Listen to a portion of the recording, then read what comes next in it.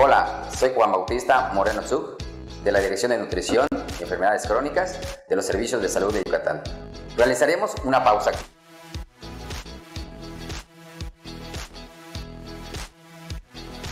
Para realizar esta pausa de manera segura, debemos considerar que el lugar donde lo realicemos esté despejado, iluminado y ventilado, dado, y la superficie del piso estable y no resbalosa. Realizaremos dos respiraciones profundas. Inspiramos por la nariz, mantenemos el aire 8 segundos y expiramos lentamente por la boca.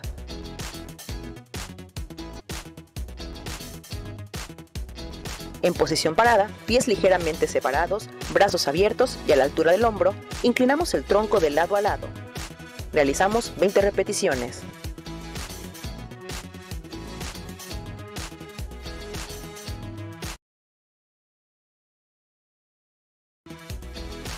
En posición parada, pies juntos, elevamos los brazos con dedos entrelazados y vemos la postura 15 segundos. En posición parada, pies ligeramente separados, brazo levantado lateralmente a la altura del hombro, realizamos círculos hacia adelante. 20 repeticiones, posición sentada a la orilla de la silla, brazos así, intentando tocar la punta de los pies. Mantenemos la postura por 15 segundos.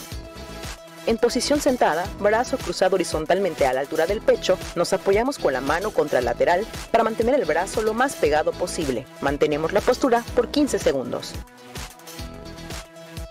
En posición sentada en la orilla de la silla, colocamos los brazos lateralmente a la altura del hombro. Realizamos inclinaciones hacia los lados de manera intercalada. 20 repeticiones. En posición sentada, brazos arriba con los dedos entrelazados. Inclinamos el tronco hacia un lado, manteniendo la postura por 15 segundos. Repetimos del otro lado. En posición realizamos 20 repeticiones. En posición sentada, realizamos desplazamiento de la cabeza hacia adelante y atrás. 20 repeticiones. En posición sentada, con los brazos pegados al tronco, elevamos los hombros. Realizamos 20 repeticiones.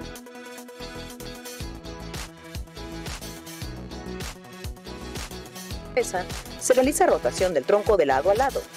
20 repeticiones. Para finalizar, realizaremos dos respiraciones profundas. Inspiramos por la nariz, mantenemos el aire 8 segundos y expiramos lentamente por la boca. Juntos, transformemos Yucatán, Gobierno del Estado.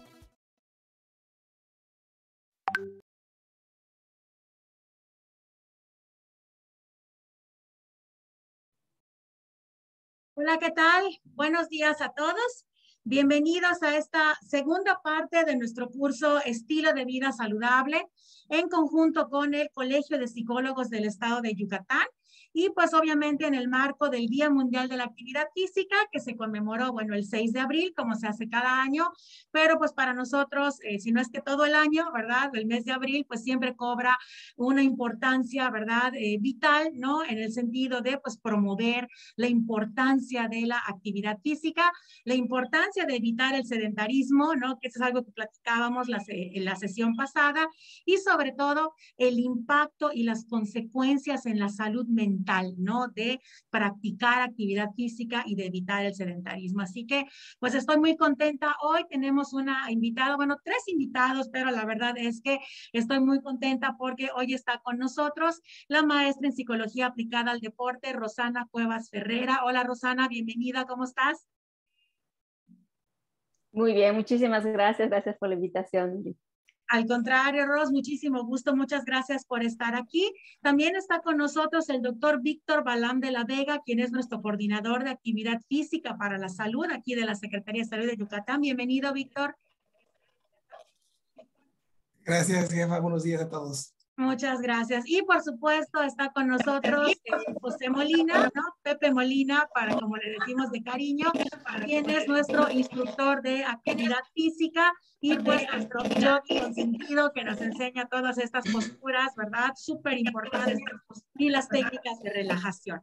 Entonces, vamos a iniciar esta segunda sesión. No me quiero retrasar con las presentaciones. Primero está nosotros el instructor Posteriormente tendremos una pausa activa con Pepe Molina y cerraremos con broche de oro con la maestra Rosana Cuevas, quien pues nos acompaña con la maestra Rosana del Cuevas, quien por supuesto también de la Facultad de Psicología de la UAM.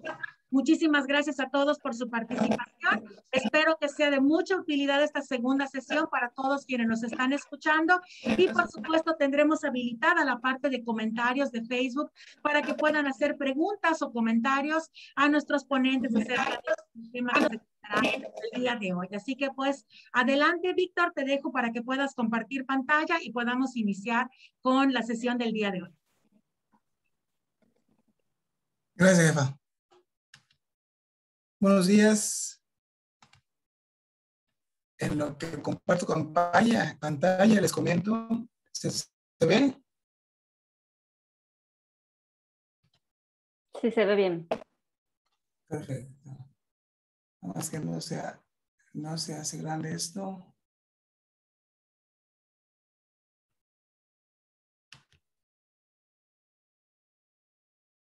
Perfecto.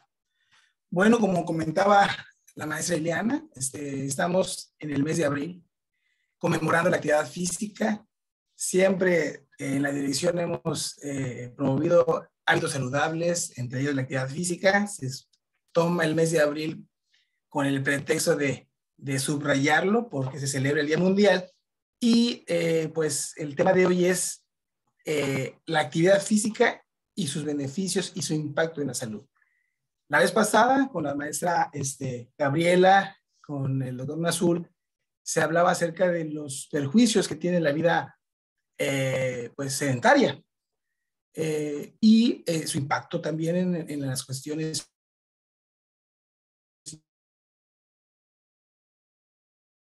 precisamente las diferencias que existen entre una vida activa y una vida sedentaria.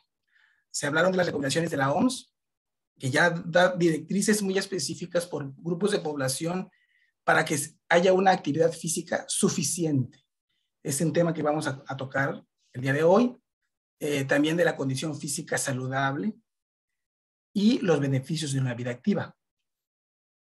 La maestra Rosana precisamente nos va a hablar de la condición de la salud mental, fundamental para, para que eh, haya esta salud en, en toda la extensión de la palabra.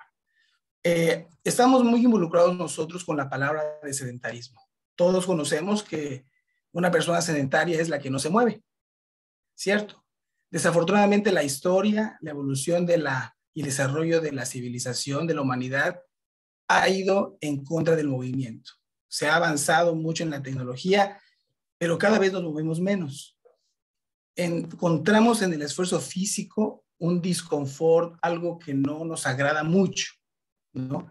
Y por naturaleza el cuerpo humano es para moverse. Esta situación ha provocado un fenómeno que precisamente la pandemia se agudiza, se encrudece y hace en evidencia y pone en evidencia pues la mala condición física que tenemos a nivel mundial. el sedentarismo es un factor de riesgo independiente de otros factores de riesgo cardiovasculares que por sí mismos genera un eh, causa, es causa de muerte en el mundo. Es eh, factor de riesgo para varias enfermedades y que desafortunadamente va en aumento. En las imágenes observamos eh, diversas actividades sedentarias que se promueven. Desafortunadamente, muchas actividades ocupacionales son sedentarias. Tenemos que estar frente a un monitor o tenemos que tener una postura sedente y eso limita precisamente nuestro gasto energético en base al movimiento. Vemos, o como estrategia, hemos eh, eh, decidido en la dirección ubicar momentos fundamentales en el día de, de las personas. El, el, sueño, el tiempo del sueño reparador que hay que respetar, eh, el tiempo ocupacional y el tiempo libre en ambos tenemos que aumentar nuestra actividad física. Tenemos que encontrar estrategias eh, para poder eh, movernos, buscar cualquier pretexto que genere un gasto energético. Por eso se habla de actividad física suficiente, suficiente para la salud, suficiente para prevención cardiovascular, suficiente para poder encontrar eh, los beneficios físicos y psicológicos. Y precisamente por eso eh, surgen esas recomendaciones internacionales. Retomando el concepto que la vez pasada el doctor Nazul nos, compartía, actividad física es todo, todo movimiento que genera un gasto energético, ¿no? Y que nos permite precisamente pues, desempeñarnos en la sociedad, convivir, ¿no? Adaptarnos, hacer eh, o deshacer, ¿no? Se divide en actividades ocupacionales, incluyen las actividades del hogar, las, actividades escolares, todo lo que nos ocupa un tiempo eh, por una determinada razón, una responsabilidad. Y el tiempo libre, ¿no? Que es el, el, donde aparentemente podemos decidir en qué ocuparlo. En recreación, generalmente se recomienda. Y las actividades de transporte, que, es el desplazamiento, que también por lo mismo también se ha abusado ya de un transporte motorizado eh, y cada vez se utiliza menos el transporte activo. Vemos en la imagen una, este, una unas gráficas donde observamos el gasto energético por actividad observando diferencias importantes en la postura sentada o haciendo ejercicios.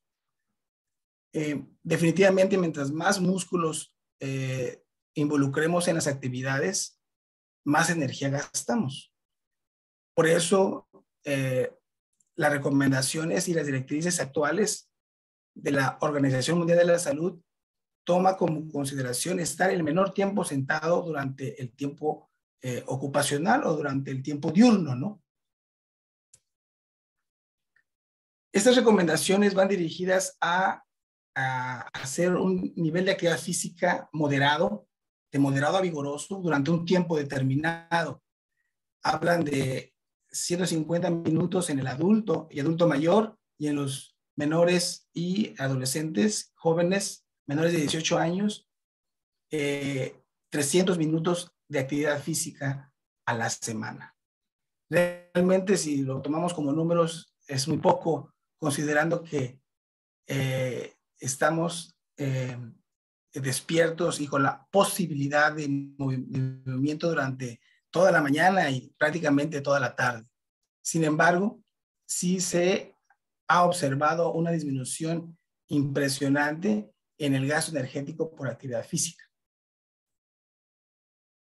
Y bajo estas situaciones también eh, el doctor Nazul la vez pasada eh, definió la, y mostró diferencias entre actividad física, ejercicio y deporte. No son lo mismo, pero todo tiene que ver con el movimiento, ¿no?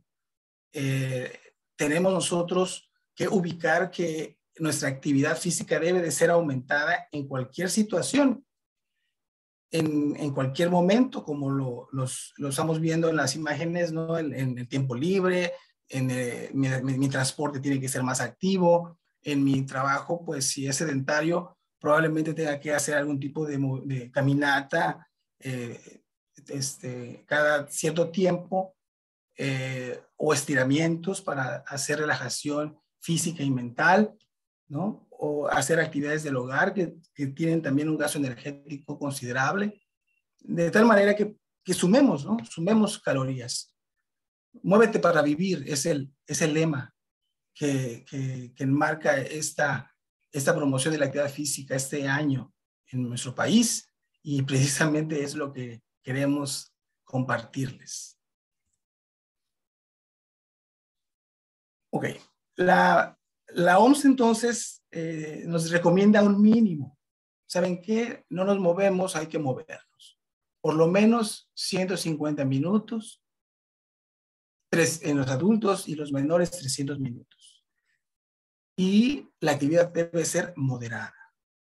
Normalmente las actividades leves son las actividades que no involucran mucho esfuerzo, que podemos hacer y, que no nos genera un gasto energético aparentemente importante porque podemos hablar, no, no, no generamos sudoración. Bueno, dependiendo si estamos afuera a 42 grados, pues acostados sudamos. Pero me refiero al consumo energético por movimiento. Nos dice también que las actividades que debemos de realizar aparte del tiempo y la intensidad que debe ser moderada, deben tener contenidos de, eh, de fuerza, eh, cardiovasculares, de movilidad articular o flexibilidad y de coordinación y equilibrio. Por eso hablamos del término de actividad física insuficiente, porque no es suficiente para poder proteger, para poder prevenir enfermedades y por consecuencia aumenta la probabilidad de lesiones, de enfermedades y de secuelas. En este caso en concreto el ejemplo es el COVID. La enfermedad respiratoria, hasta ahora todavía se está estudiando las secuelas que presentan los enfermos o los, que padecieron la enfermedad y se ha demostrado que eh, es eh, multisistémico el, efecto. Por lo tanto, el nivel de actividad física que se genera o que debemos de generar debe de ser suficiente para poder adaptar al cuerpo a estas secuelas, o sea, para superar esas secuelas. Entonces, lo mínimo que tenemos que considerar es poder cumplir esas recomendaciones de, la OMS para poder alcanzar la salud.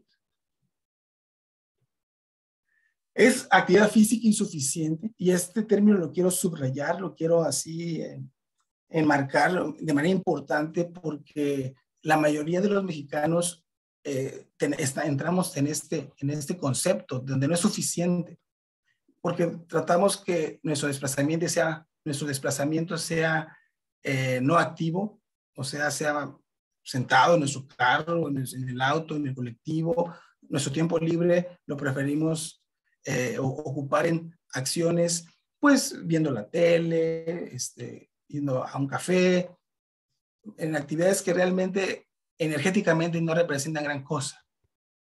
Y tomo como comparación, por ejemplo, una ida al parque, una ir a la playa donde podemos nadar, eh, eh, bueno, montar bicicleta, hacer un paseo, eh, como le dicen, senderismo. Bueno, todas esas actividades son saludables en muchos aspectos. específicamente, hablamos del gasto energético, pero tiene otros beneficios que, que veremos más adelante y que la maestra Rosana también nos podrá este, compartir en el aspecto psicológico. Entonces, si la actividad física suficiente eh, no nos va o no, no nos genera un beneficio, normalmente se asocia este sedentarismo a un estilo de vida pues no saludable. Hay que moverse, hay que alimentarse sanamente, hay que dormir suficiente. El horario o según la, edad, pero bueno, en los adultos el, horario ideal es de 8 horas, de 8 a 10 horas, pero pues realmente la mayoría dormimos mucho menos, pero tenemos que entender que es necesario nuestra limpieza higiene corporal, e higiene mental, el control del estrés, la interacción social positiva y la recreación. Que bueno, la recreación puede ser activa o puede ser una recreación no activa, con algunas intervenciones eh, y juegos de, para pensar, analizar, que también es importante. Esto encierra y engloba una vida saludable, una vida activa. Y es de lo contrario. Esto, esto que vemos en pantalla, desafortunadamente, es lo que ha abundado eh, en los últimos, eh, por lo menos, 30, 40 años. Y cada vez con mayor notoriedad el, avance en, la, tecnología y el, la, gran oportunidad que tiene la Internet y los monitores de facilitarnos muchas cosas ha limitado precisamente el desplazamiento en varios aspectos. Y se ha, no hemos creado estrategias dirigidas bajo esa tónica, este, no se nos adelantó muy rápido y realmente estamos en desventaja. ¿no?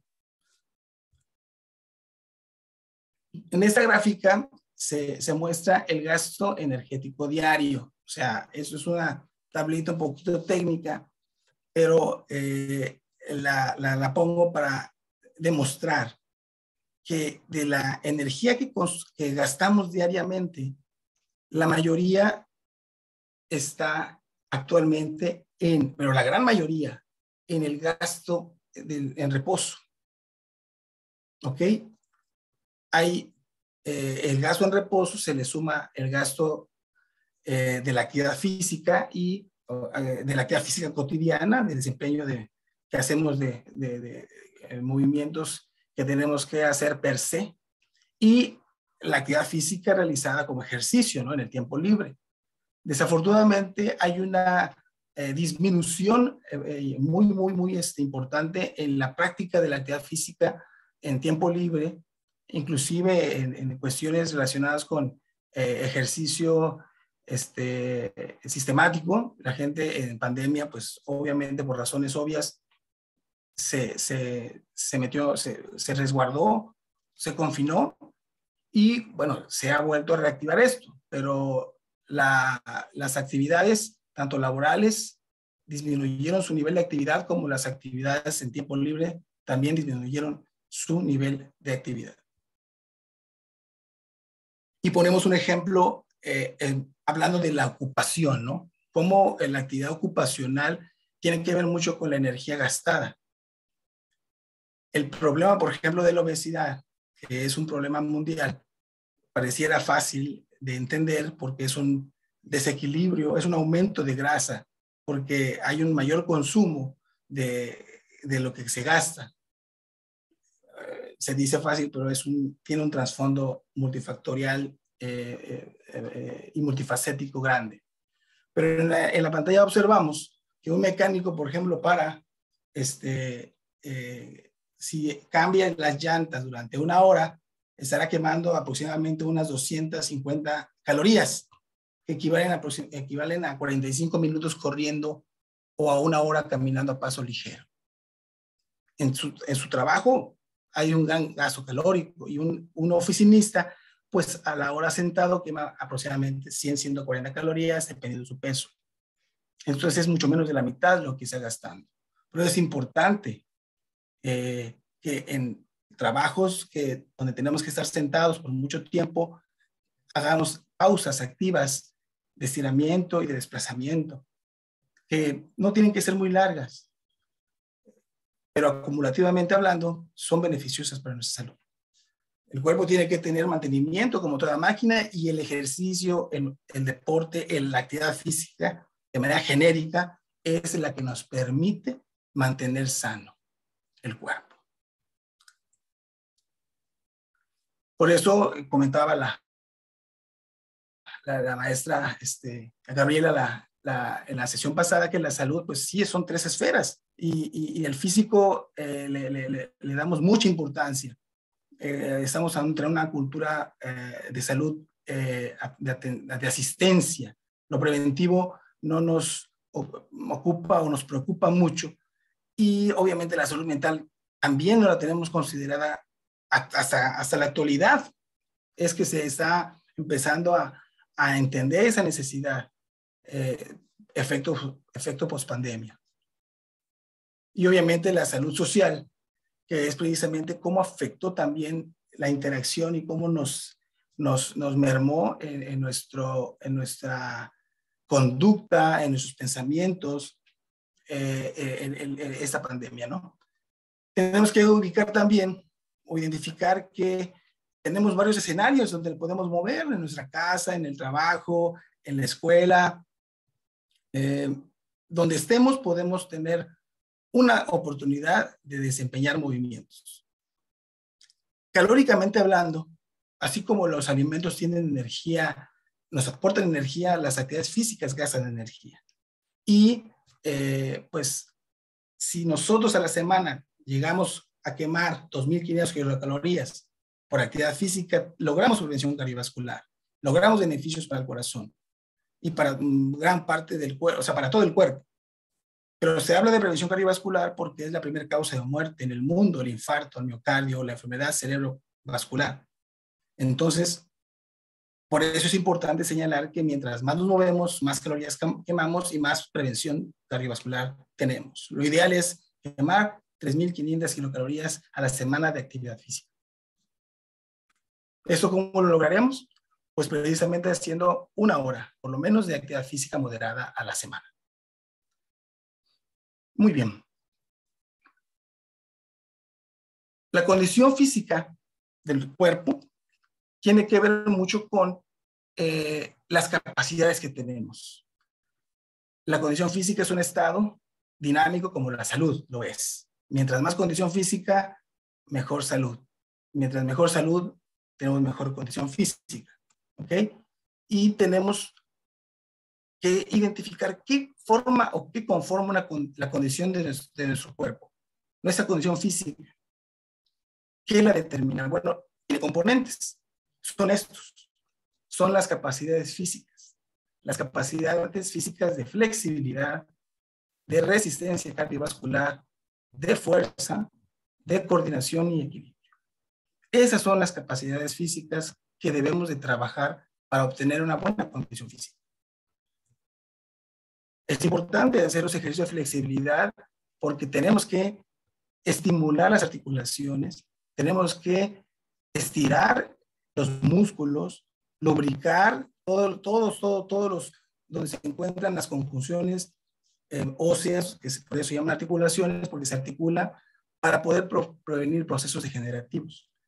Precisamente los ejercicios de flexibilidad son los que eh, se realizan en las pausas activas o los que se realizan cuando queremos o estamos realizando un calentamiento antes de una sesión de ejercicio. Son ejercicios que debemos de practicar diario. Aquí hay unos ejemplos y en un rato Pepe nos va a mostrar unas posturas muy agradables y muy sabrosas.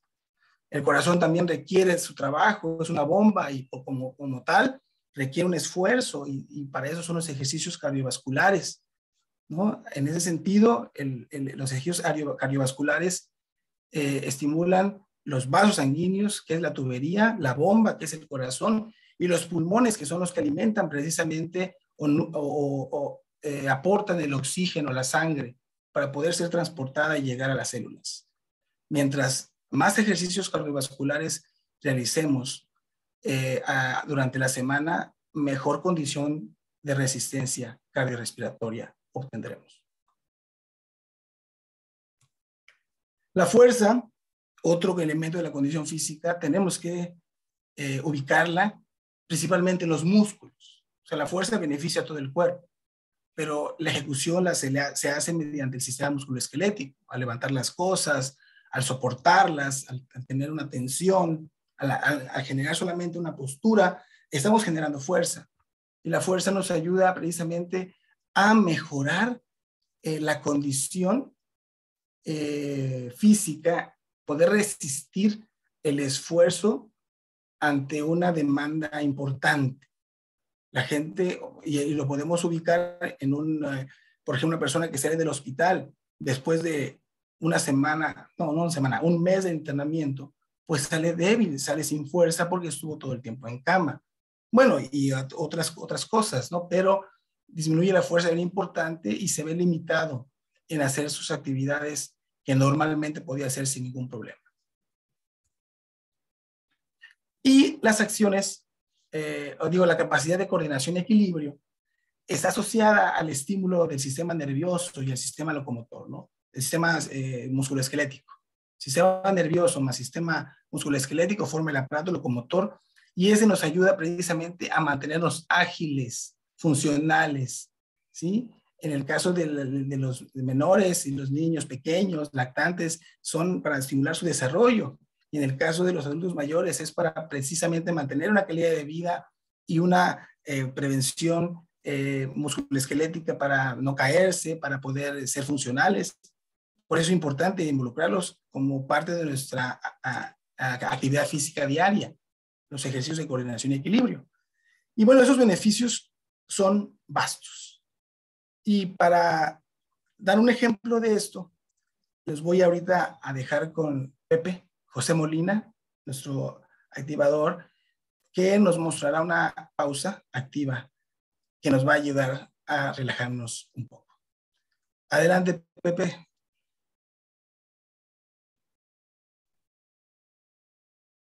Claro que sí, nada más necesito, por favor, compartir mi pantalla para la música, nada más.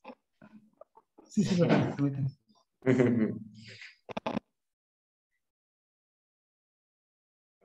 ahí voy, ahí voy, ahí voy. Claro que sí. Eh, ahorita vamos a ver, de acuerdo a lo que está diciendo el doctor Víctor, les voy a mostrar unos ejercicios que podemos hacer en nuestro escritorio para los que trabajamos mucho tiempo sentados. Te voy a pedir que, por favor, para empezar, eh, te despegues de tu silla. Y para eso necesito hacer esto. Rápidamente, cambiamos el escenario.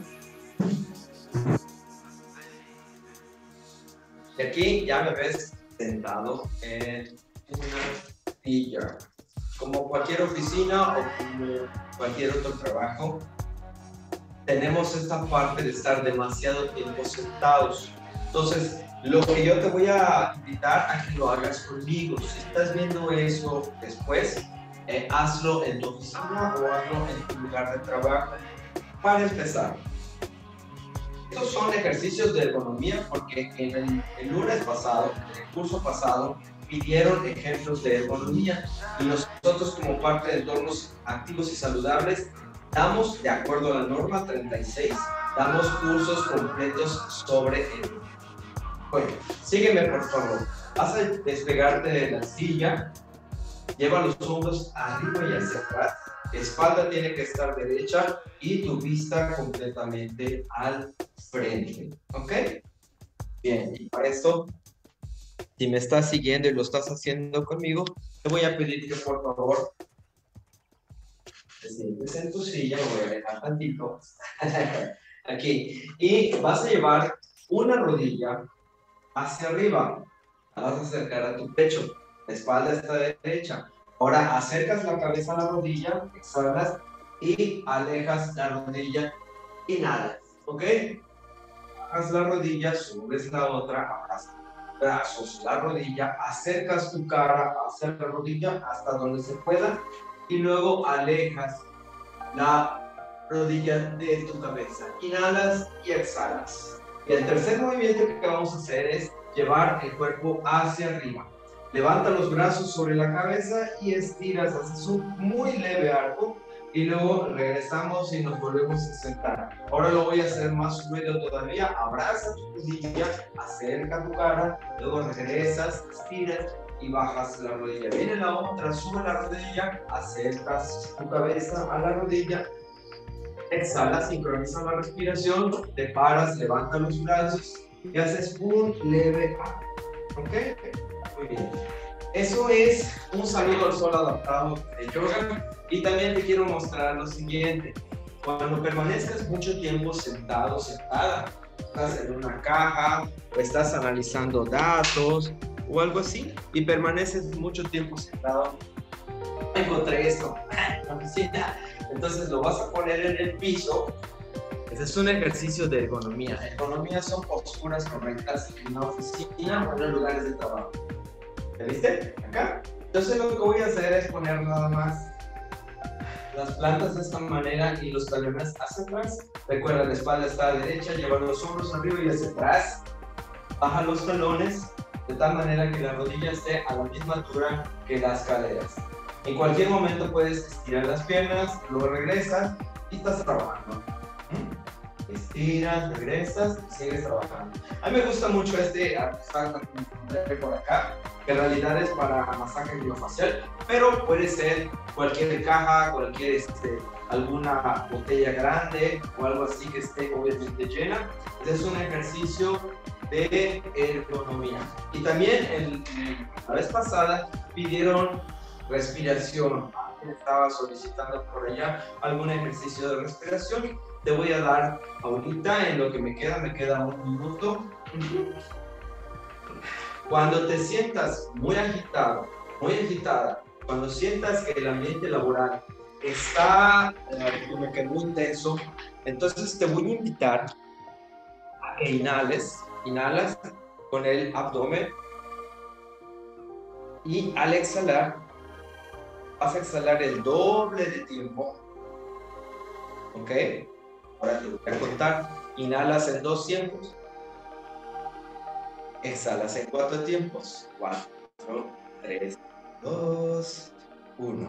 Repítelo conmigo. Inhalas dos tiempos y exhalas en cuatro, tres, dos, uno.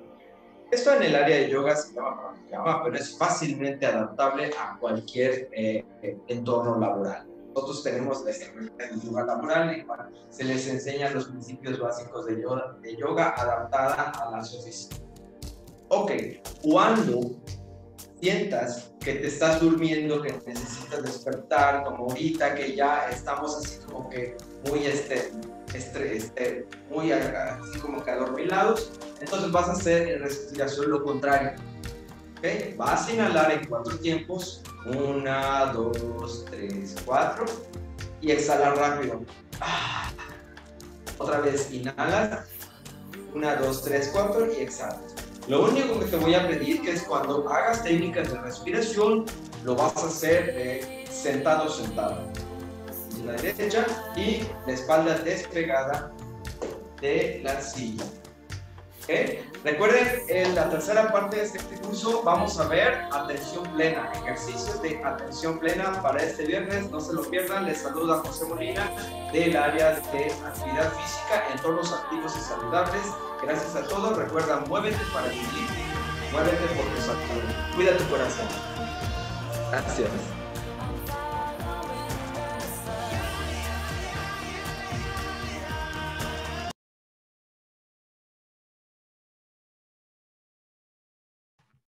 Muchas gracias, Pepe. Vamos a continuar. Ahorita, este, nomás permítanme compartir pantalla. No sé si ya se ve. ¿Me pueden confirmar? Ya. Gracias. Muy bien. Pues eh, ahorita estos ejercicios que, nos mostró eh, Pepe, ahí, creo que no estoy en pantalla.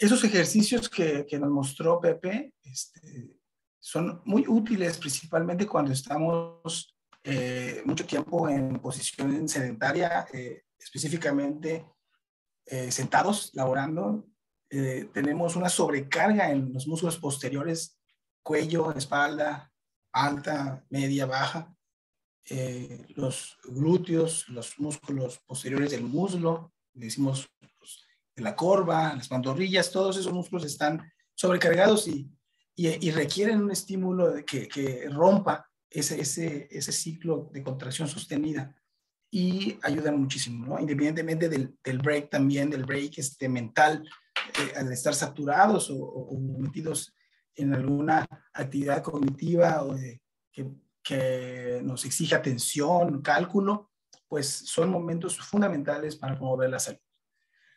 Bueno, vamos a hablar ahorita de los ejercicios, de los beneficios de, estas capacidades. Eh, ¿Por qué eh, tantos ejercicios o por qué tantas actividades? De manera conceptual tenemos que ubicarlos. Tenemos que aumentar esa cultura física. La gente que, por ejemplo, va a caminar todos los días este, media hora, excelente. Está haciendo actividad física para la salud. Está haciendo eh, una capacidad física. Está bien, pero puede estar mejor. O sea, también tendría que hacer ejercicios de fuerza, ejercicios de flexibilidad y ejercicios de coordinación y equilibrio precisamente porque tenemos que mantener el cuerpo integralmente funcional. Cuando vamos a hacer el servicio del carro, no vamos a, ¿cómo se llama? No vamos a hacer solamente eh, el, cambio de aceite, ¿no? Pues, pues se hace lo suficiente o lo necesario, lo que requiera para mantenerlo, ¿no? Pues que si el, las bujías, inyectores, etcétera, etcétera, etcétera. Bueno, pues el cuerpo humano tiene capacidades físicas que se tienen que promover, estimular para desarrollar y tengan efectos preventivos. e incluso tienen efectos curativos. Pero ahorita estamos hablando precisamente de la prevención, de cómo hacer una vida activa, de cómo ser saludables.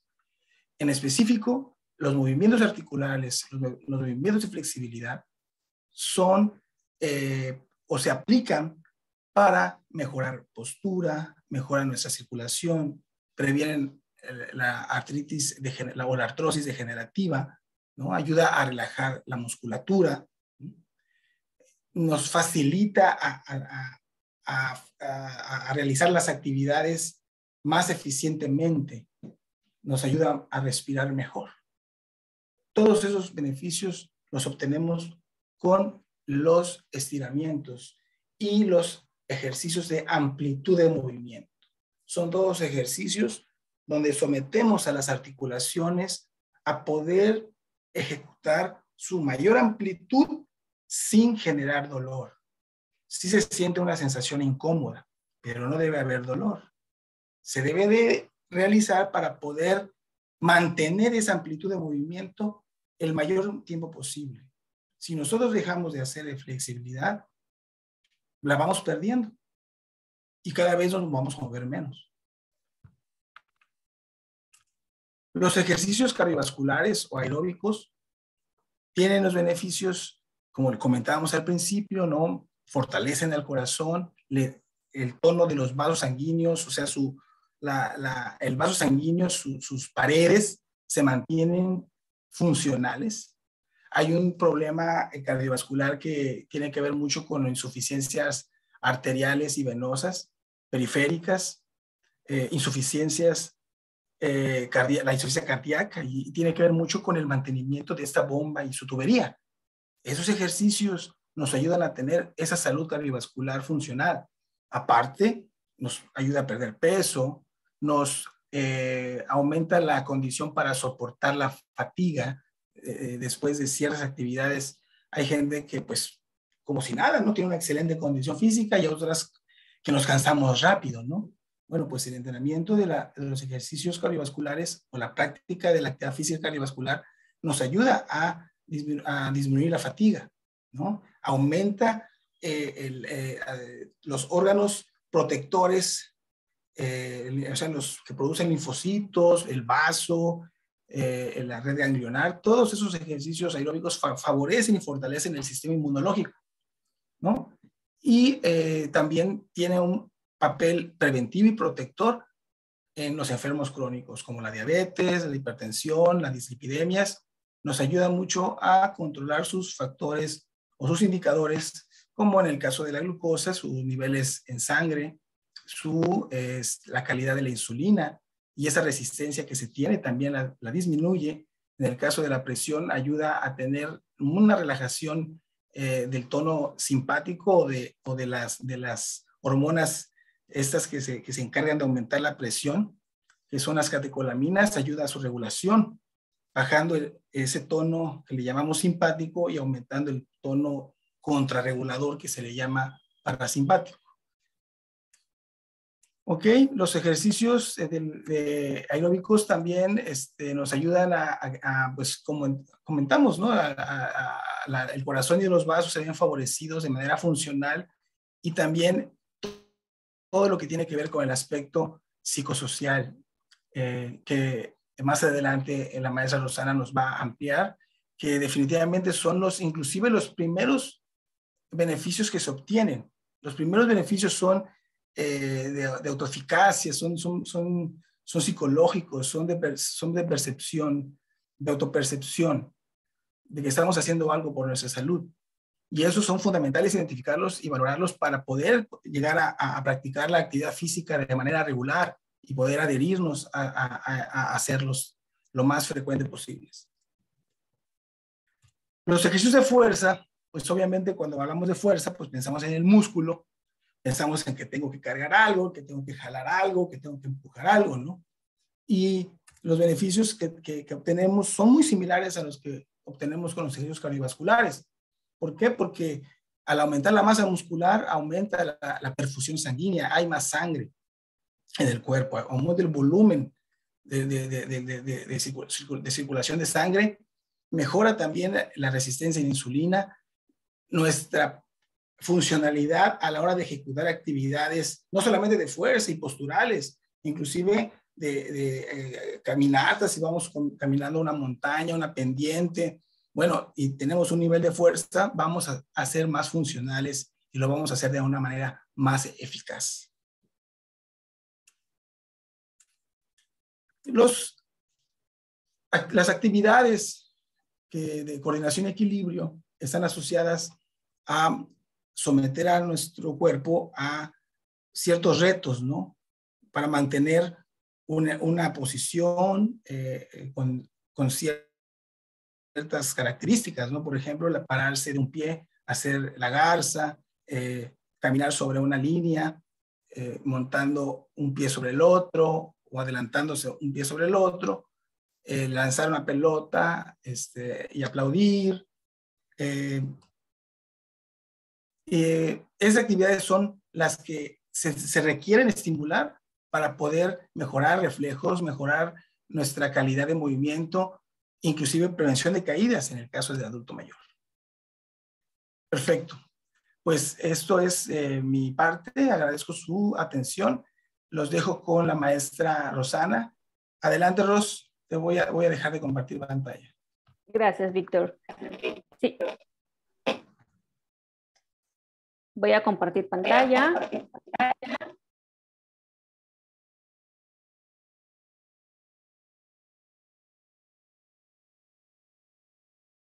Bueno, este, creo que ya se habló y ya conocieron muchos beneficios de la actividad física o de tener un estilo de vida activo. Ahora, pues obviamente ustedes me estarán preguntando, bueno, y, y lo deseo hacer, quiero iniciar, que requiero, ¿no? ¿Cómo me puedo tanto iniciar o cómo mantenerme? Y ahí creo que eh, los aspectos psicológicos tienen un papel muy importante y es lo que les quiero platicar un poquito más hoy. Este, perdón, me escucho un poco con, con eco, Víctor. Este, no sé si es por los dos audios encendidos. ¿Me escucho bien? Ok, continúo entonces. Perfecto. Sí, ya no, ya no escucho el eco. Perfecto. Pero bueno, eh, también quiero ampliar, como comentó Víctor hace un momentito, quiero ampliar los beneficios eh, pues, en la salud mental o los beneficios psicológicos de hacer actividad física. La realidad es que eh, los beneficios psicológicos eh, tanto ayuda ¿no? al hacer actividad física, porque te mantienes cuando recibes este beneficio de, de, sentirte bien, el estado del ánimo, como dijo Víctor, son de los primeros efectos que tienes cuando empiezas a hacer ejercicio, cuando empiezas a hacer una actividad física con un poquito más de esfuerzo, hay una mejora en el, en el estado de ánimo. Y eso, a su vez, ayuda a que sigas entonces, pues sintiéndote bien haciendo lo que haces y por lo tanto te mantienes haciendo ejercicio físico. Entonces es como un beneficio mutuo.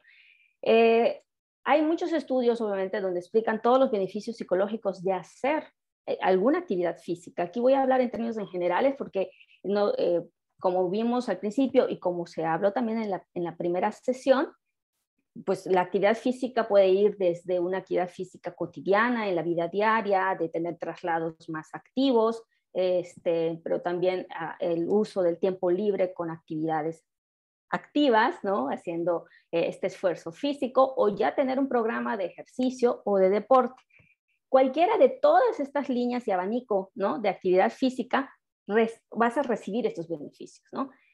Primero, una sensación de bienestar, y si te mantienes, en general aumenta esta satisfacción con la vida.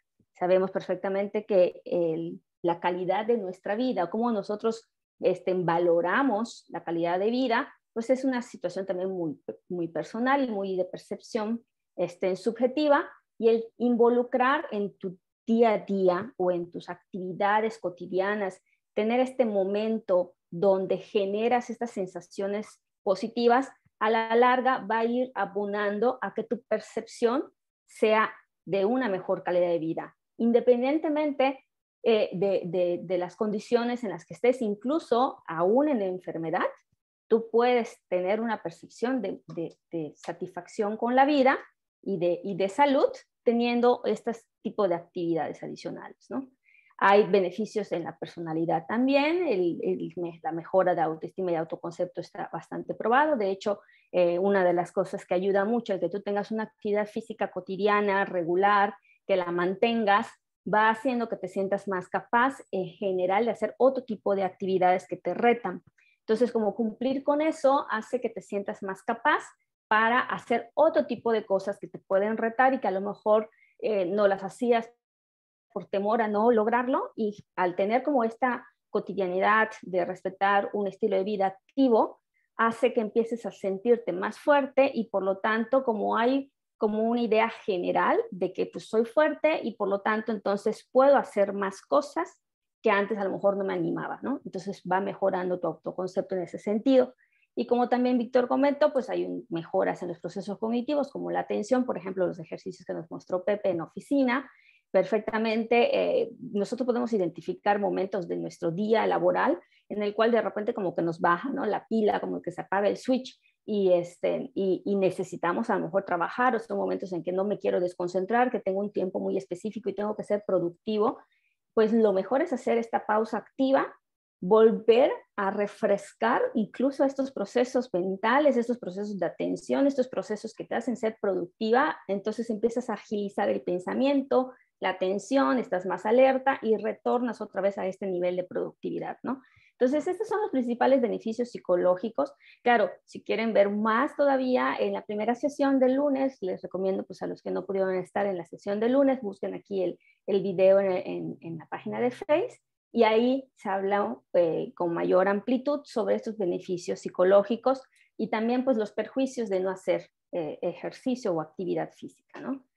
Eh, ¿Cuáles serían los eh, otros beneficios que de hecho, eh, por eso muchos psicólogos o incluso la misma Asociación de Psicología Americana, la APA, reconoce como una estrategia para combatir incluso padecimientos de salud mental? Es porque se ha visto que una actividad física regular también tiene impacto en la disminución de la depresión, de la ansiedad y del estrés. De hecho, por esta razón, se ha considerado el hecho de hacer ejercicio o tener una actividad física regular, eh, como tiene esta mejora en el bienestar mental y una mejora psicológica, se ha relacionado como una forma efectiva de psicoterapia. Lo mismo que produce, el mismo efecto que producen algunos procesos psicoterapéuticos tradicionales para mejorar es, principalmente eh, este, hay estudios sobre depresión, ansiedad, que se ha visto que también el ejercicio físico utilizado como una, ya sea como adicional al proceso terapéutico o incluso en comparación con un proceso terapéutico, se obtienen unos beneficios similares de la disminución en la depresión y la disminución de la ansiedad. Es por eso que de hecho muchos psicólogos, e independientemente si sean psicólogos del deporte o no, en general en el mundo, ya están incorporando eh, este, esta colaboración con otros especialistas para ayudar que sus pacientes se comprometan con una actividad física regular, porque ya se ha visto pues estos beneficios que tiene para otros aspectos, ¿no? En realidad, cuando una persona es activa físicamente, se ha visto que se asocia con otros comportamientos saludables. Un ejemplo, eh, yo hay muchas personas que de repente me dicen, pues es que yo quiero este, pues bajar de peso, por ejemplo, ¿no? Y quiero tener una dieta eh, saludable, pero me cuesta mantenerla, la empiezo, pero la dejo, ¿no? Este, como dicen por ahí, ¿no? Eh, este, empiezo todos los, los lunes y la dejo todos los martes, ¿no? Obviamente, a veces no piensan que también incorporando actividad física hace que te puedas mantener más tiempo en esos otros comportamientos que quieres, saludables. Entonces, a veces es invitarlos a, ¿por qué no también haces ejercicio o por qué no también incrementas la actividad física regular, eh, poco a poco, cotidiana, de lo que estás haciendo ahorita, meter un poquito más, porque finalmente esta conducta de ser físicamente activo o tener un estilo de vida activo es como un imán de otros comportamientos saludables. Lo mismo para otros, otros comportamientos que quieras cambiar, otros hábitos de salud que quieras mejorar. El, el, ser físicamente activo es como un gancho para atraer y que te mantengas también en esos otros hábitos que quieres conseguir, ¿no? Bueno, entonces creo que ya platicamos mucho de los beneficios, de lo importante, ¿no? Y generalmente eh, las personas dicen, bueno, es que yo sí quiero hacer actividad física, yo sí quiero ser activo, pero no, no me logro mantener, ¿no? Y ahí es lo que quiero enfocarme ahorita. Esto es precisamente lo que queremos hablar ahorita en este, en este pedacito del curso, es cuáles son esas estrategias para adherirse a un programa de actividad física. Adherirse a esto, es mantenerse, porque pues se sabe perfectamente que iniciar actividad física es muy saludable, muy positivo, pero lo importante es mantenerse. Para conseguir esos beneficios que hemos hablado, lo importante es mantenerse, lo importante es hacerlo regularmente. Y también porque se sabe que tenemos que establecer ciertas estrategias porque es muy frecuente que se abandone. De hecho, más de la mitad de, la población que inicia un programa de actividad física lo abandona durante los primeros seis meses. Entonces, por eso es muy importante que tengamos estrategias específicas pues, para adherirnos y para brincar esta barrera ¿no? de los seis meses. Una de las primeras este, estrategias que se mencionan y, obviamente pues los psicólogos la manejan muy bien es esta variable que se conoce como autoeficacia, que básicamente es esta creerse capaz de hacerlo, ¿no? Es creer que tienes las capacidades para hacer una actividad con éxito y obtener los resultados que estás buscando. Y sobre todo la autoeficacia también tiene mucho papel cuando hay una situación adversa o cuando lo ves más difícil o cuando ves que hay algo que te va a impedir lograr lo que tú quieres y entonces ahí es cuando más activa esta fuerza la autoeficacia para entonces vencer ese temor, esa barrera, esa dificultad y entonces seguir eh, ejecutándolo y lográndolo, ¿no? La autoeficacia no es algo que se da y se quita, es algo que la persona tiene,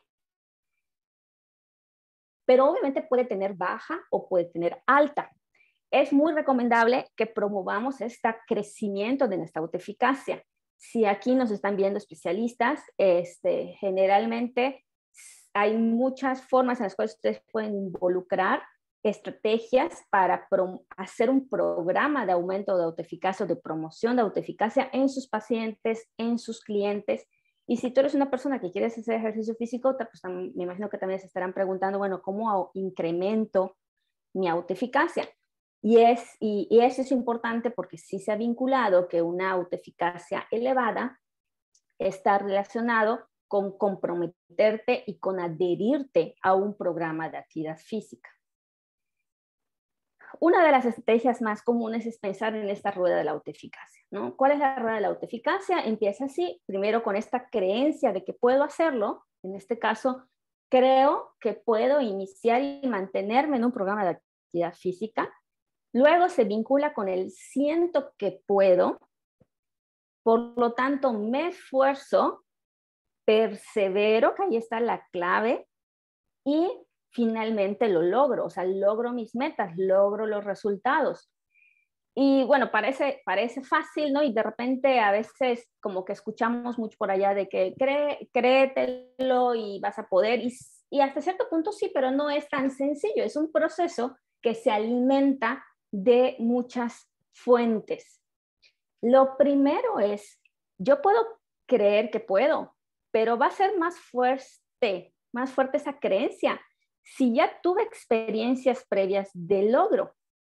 Para eso es muy importante identificar que este logro no necesariamente tiene que ser un logro como muy este, evidenciado, muy objetivo, incluso como una percepción de un logro personal. ¿no? Las famosas victorias privadas. Es decir, yo antes, hace X tiempo, intenté dejar, por ejemplo, de fumar y lo logré, ¿no? Ese ya es un logro que puedo incorporar, digo, bueno, pues si logré dejar o hacer este cambio de hábito, entonces puedo incrementar este otro cambio de hábito. Otras experiencias previas. Pero sí tengo que hacer como este análisis, ¿no? de las experiencias previas relacionadas con un éxito privado o con un logro personal, para que se establezca verdaderamente esta creencia de que yo puedo. Si ustedes son especialistas o maestros de educación física o maestros de deporte, etcétera, o instructores, y ustedes quieren que ayudar a sus clientes o a sus alumnos a tener esta creencia de poder de la autoeficacia, es muy importante que cuando se les dé la retroalimentación de su ejecución, siempre se enfatice lo que sí se hizo bien. Porque muchas veces, y también este proceso de autoeficacia es importante para incluso adherirse a un programa, a un tratamiento de salud, si de repente el médico, el, tu entrenador, el instructor o el maestro eh, enfatizan lo que fallas, ¿no? le estás dando información suficiente para establecer esta experiencia previa de logro. Y por lo tanto vas a disminuir la autoeficacia, eh, obviamente pues sin querer queriendo, ¿no? Pero se logra el efecto contrario si nada más se enfatiza lo que le faltó hacer o lo que hizo mal. Entonces hay que implementar también, ¿no? El que hizo bien, cuál fue el logro, hacerlo muy claro, muy evidente para que entonces esta persona lo pueda ir almacenando en su memoria, porque en el momento que necesita activar la fuerza de la autificacia, estas memorias o estos recuerdos o estas frases que escuchó son las que va a estar, van a estar presentes. Lo otro importante es vincularlo con nuestras emociones, las sensaciones físicas que nos da el ejercicio. De hecho, tener actividad física es bastante sencillo hasta cierto punto recuperar la emoción o la sensación que nos produce porque naturalmente produce sensaciones positivas.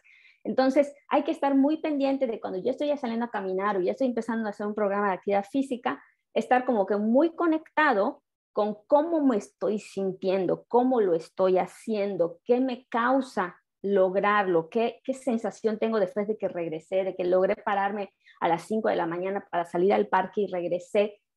Dense un momento para hacer como este clic con, con, cómo me estoy sintiendo, con la satisfacción que estoy teniendo. Hagan este análisis porque, repito, este reconocimiento de nuestras emociones y sensaciones físicas positivas se van almacenando en nuestra memoria y en el momento que necesitamos activar la autoeficacia, esto también se recupera. Adicional a eso, pues está la persuasión verbal, que eso creo que es lo que muchos nos dicen, ¿no? De que tanto que te echan porras o que te autoeches porras, y sí es importante, ¿no? Esa percepción verbal de decirte sí puedes, sí lo vas a hacer, pero va a tener más fuerza nuevamente si esta frase o estas eh, ideas que te dicen o que tú piensas como para echarte porras, están vinculadas a algo real, es decir, a una experiencia previa de logro, a una emoción, una sensación física que tu, positiva que tuviste cuando lo realizaste. Entonces va a tener un poco más de fuerza. Y finalmente, es muy importante convivir y compartir tiempo con gente que tiene características igual que las tuyas y que lo ha logrado o que están en un programa de actividad física. Esto ayuda muchísimo. De hecho, muchas personas que logran adherirse a un programa de actividad física también se adhirieron a un nuevo grupo, a veces se vinculan y voy a empezar a salir a caminar o a correr y de repente me vinculo y conozco otras personas que salen a la misma hora, el mismo día y se ponen de acuerdo y entonces empiezas como a, es una conducta contagiada y eso es muy importante, observar a otros con tus mismas características que se están esforzando y que lo están logrando, automáticamente también es una fuerza para tu propia autoeficacia. Y bueno, ya hemos hablado de los beneficios de una alta autoeficacia, pero obviamente también vamos a hablar de otras estrategias importantes para adherirse. Por ejemplo, vamos a empezar con el paso uno. Voy a iniciar o quiero iniciar un programa de actividad física. ¿Qué es lo primero que tengo que hacer? Establecer mis objetivos o mis metas. También aplica si ya empecé, pero quiero mantenerme o me estoy como echando para atrás y quiero como retomar fuerza, pues vamos a sentarnos un ratito a pensar y establecer por qué lo estoy haciendo, cuáles son mis motivos por los que lo hago, cuáles son estas metas que quiero conseguir. Y aquí realmente se aceptan todos los motivos, no hay motivos buenos o malos. Puede haber que hay motivos más fuertes o de mejor calidad, que generalmente son los considerados los motivos internos o esta motivación intrínseca que va implicado con este, lo, lo, hago porque lo siento, me siento bien cuando lo estoy haciendo y además la propia actividad por sí mismo me es satisfactoria. Este, lo hago porque además tengo un crecimiento en mi, en mi autoestima, en cómo me veo, cómo me veo el concepto que tengo sobre mí mismo, todos esos aspectos ¿no? que, que ayuda me siento capaz, me siento competente cuando lo hago. Todos estos motivos son muy importantes, pero también otros motivos a lo mejor que diga, bueno, es que lo quiero hacer porque quiero bajar de peso o lo quiero hacer para que dé en mi pantalón que voy a estrenar eh, eh, en verano, no importa. Realmente aquí no vamos a juzgar ningún motivo, lo importante es que los identifiquemos y vayamos incorporando cada vez más motivos de mayor calidad, que son estos los que les digo, que están más vinculados a mi persona. Otra recomendación para iniciar es que puedas tener un diagnóstico integral. Ah, cada vez es más común ver estas ferias de la salud o ir a algunos este, servicios que dan pues, para checar una condición eh, física en general, eh, una evaluación médica general, pero también es importante incorporar estos apoyos ¿no? de otros especialistas y tener como esta evaluación de inicio, o sea, el punto de partida. Y repito, igual si ya estoy haciendo la actividad física, pero quiero como mejorarla y nunca me he hecho una evaluación diagnóstica para ver mi punto de partida, pues es importante hacerlo, porque esto te va a dar de forma como más clara y más evidente dónde estás empezando y puedes plantear hacia dónde quieres llegar.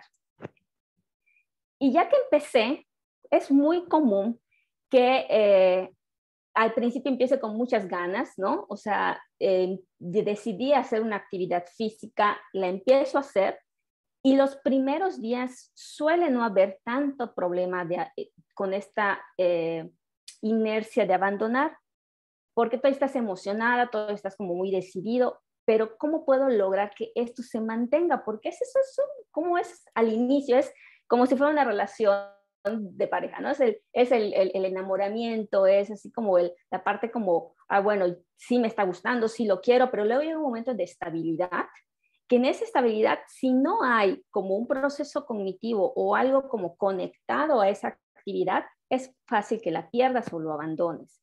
Entonces, bueno, lo importante es que esos primeros días que estás en esta fase de, de enamoramiento, este, te autoobserves. Es muy importante observarte cómo te estás sintiendo, cuál es el momento ideal para que lo estás haciendo. Por ejemplo, tenemos, está también bastante estudiado que hay personas que pueden ser más productivas o pueden, pueden tener mejores beneficios de mantenerse en una actividad física si lo hacen en la mañana, otros en la noche.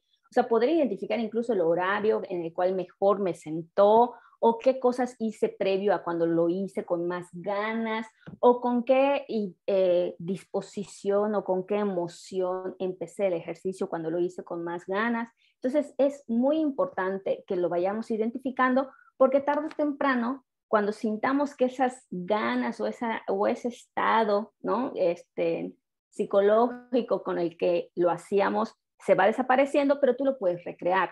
Es decir, si yo descubrí que a tal hora de la mañana se siente mejor porque el clima, porque el viento me ayuda cuando salgo a correr y además después de desayunar un, jugo de naranja y una fruta y también esas frutas en particular también me dio este, más eh, energía y bueno, entonces vas recreando eso, ¿no? Y lo siguiente pues es identificar qué debe mantener y aquí hay tanta variedad, es decir, la verdad es que pues no podemos dar como una fórmula única, no a todos les, les mantiene lo mismo, somos totalmente personas, pues individuos, ¿no? Con necesidades y, y, pensamientos muy particulares. Y por eso lo importante es que cada uno identifique qué es lo que me mantiene. Por ejemplo, puede ser que me mantiene más hacer esta actividad sola porque me conecto conmigo, porque es un momento en el cual yo me relajo o pienso eh, planeo mis proyectos y, estoy conmigo misma, o hay quienes dicen, no, es que yo me puedo mantener más si salgo con otra persona, porque a mí estar platicando o estar compartiendo esta actividad con otros es lo que me va a hacer mantener. Una vez que ya inicié, di estos pasos, pues entonces obviamente, ¿cómo voy a mantener, cómo voy a lograr brincar esta barrera de los seis meses? Pues Primero que nada, si son especialistas, les recomiendo que hay muchos modelos de cambio de conducta, como estos, Bandura, Puchasta, la teoría de acción racional, la teoría de autodeterminación, que tienen estrategias muy claras para mantener esta conducta saludable.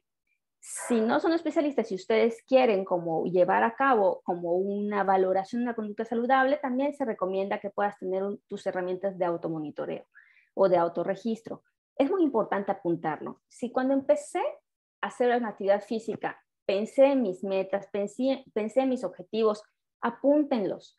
Y cuando fui y hice mi actividad física y me sentí, entonces me senté a pensar cómo lo estoy sintiendo, cómo, y esta identificación del estado ideal, apúntenlo. Y obviamente estos apuntes va a ayudar a que te mantengas y te adhieras, Es una forma de que te autovalores cómo estás yendo con tu actividad.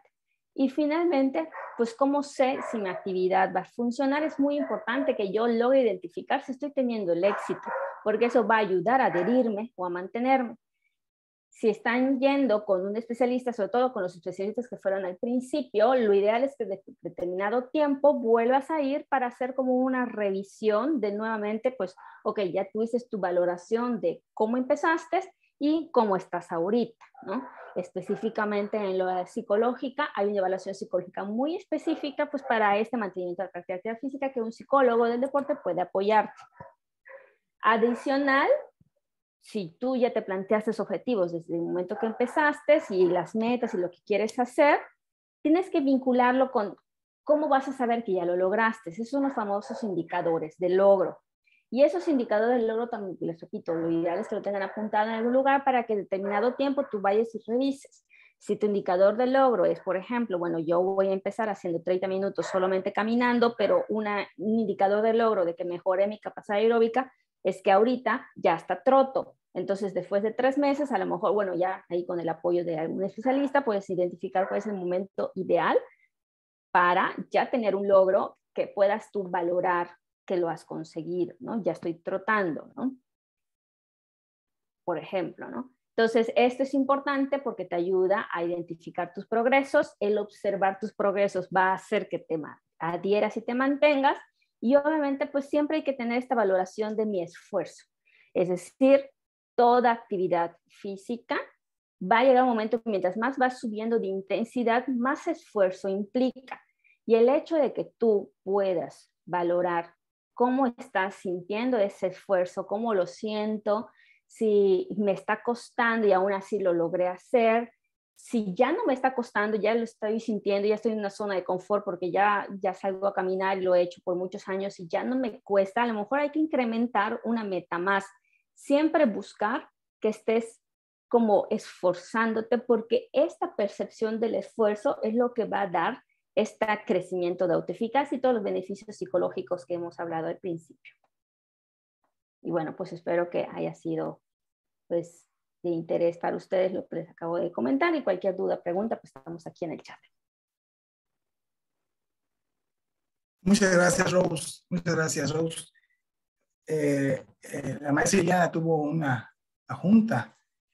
Eh, voy a hacer el cierre. Este, agradezco mucho a, José, a Pepe y a, ti, Rose, nuestra invitada especial, el que nos hayas compartido todo esto, muy interesante.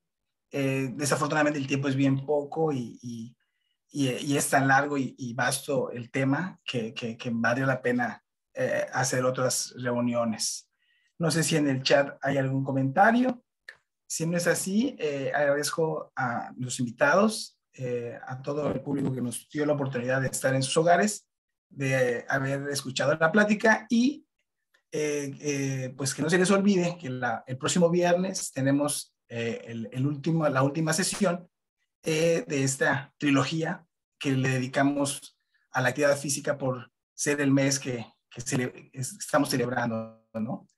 Eh, un abrazo a todos y pues nos despedimos, Pepe, Rose, espero verlos pronto. Chao. Nos vemos el viernes. Hasta luego. Buenas tardes. Hasta luego. Hasta luego.